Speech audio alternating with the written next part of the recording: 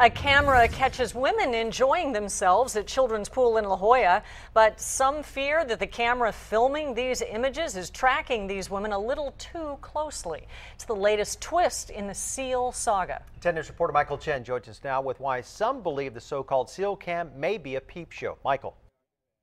Behind me mounted is a camera designed to protect the seals here at Children's Pool. But some worry what else that camera is watching. Beachcombers changing outside a shower area, women sunning themselves.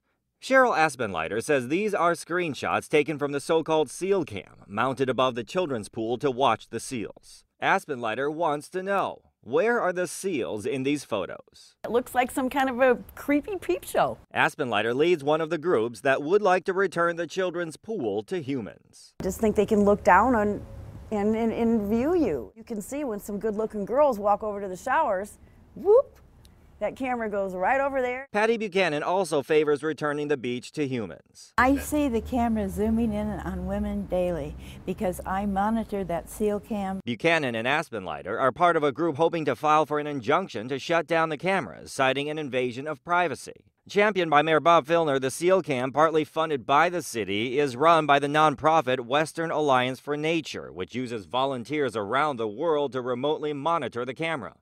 We went to the group with the peep show claim. That is absolute nonsense. The group's leaders say the camera moves around to watch out for any threats to the seals and will sometimes catch people in the shots. This is a public beach. People come to the public beach. They can have no expectation of privacy. They call the injunction attempt a desperate tactic.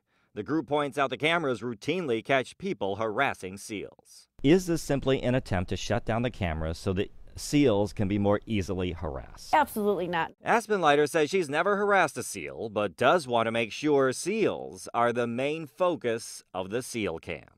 Michael Chen, 10 News.